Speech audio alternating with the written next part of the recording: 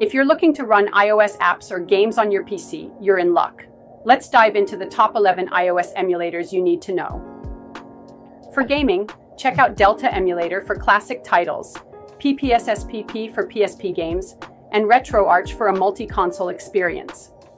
Now, if you're into app testing, you can't miss Appetize.io for browser-based testing, Corellium for a virtual iOS environment, and the iOS simulator in Xcode for developers.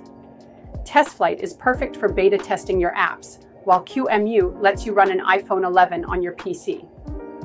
Electric Mobile Studio is another solid choice, and don't forget the remoted iOS simulator for Windows.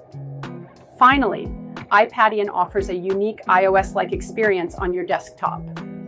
Which emulator will you try first? Let us know in the comments. Let